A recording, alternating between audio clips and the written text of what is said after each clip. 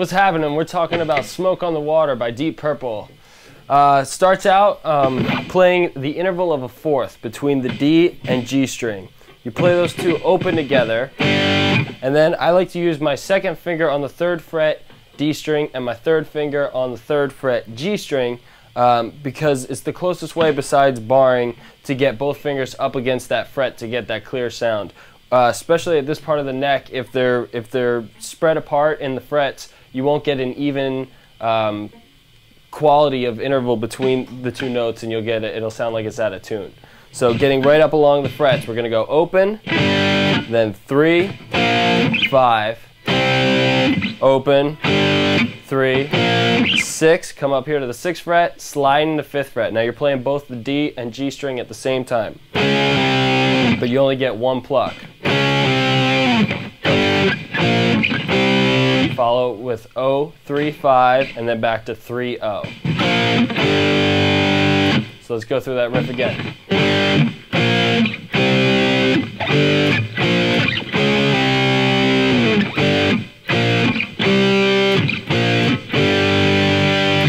Now you can uh, fancy this up if you want by taking your third finger on the fifth fret G string, pulling to the third, then pulling open. One pluck.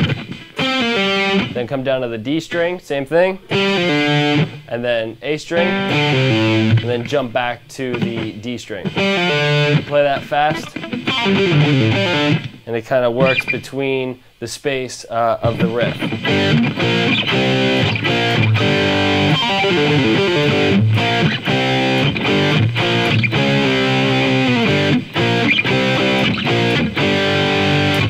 All right, so remember, playing intervals of a fourth, second finger on uh, the D string and third finger covering the G string.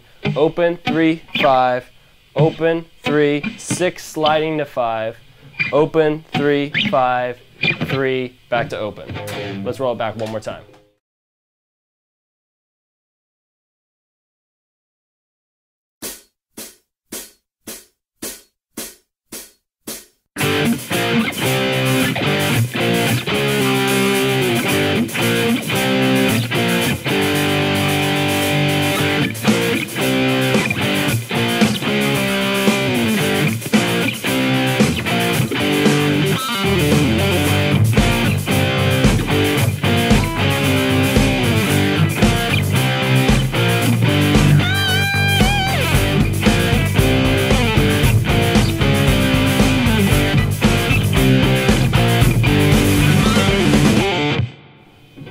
See you next time. Good luck.